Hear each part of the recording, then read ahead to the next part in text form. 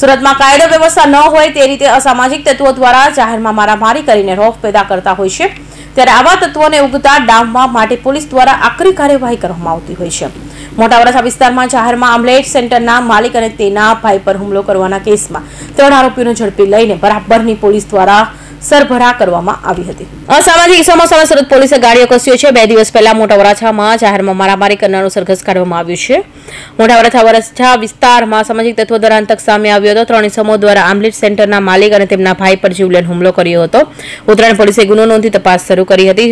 પોલીસે જાહેરમાં પોરેપોની સરઘસ કાઢ્યું હતું, જેમાં ડીસીપી રાજદીપસિંહ નકુમ સહિત અધિકારીઓ હાજર હતા. ત્રણ ઇસમોને ઝડપી પાડ્યા અને સાન ઠેકાણે લાવવાના પ્રયત્નો કર્યા હતા. આરોપીની સ્થળ તપાસ માટે લઈ જવાયા, પણ ચાલી શકે તેવી પણ સ્થિતિ ન હતી. પોલીસનો ઇશારો સામાજિક ઇસમોન હતો કે કોઈ પ્રવૃત્તિ કરશો તો આવા હાલ થશે. Bureau report in TV news Surat.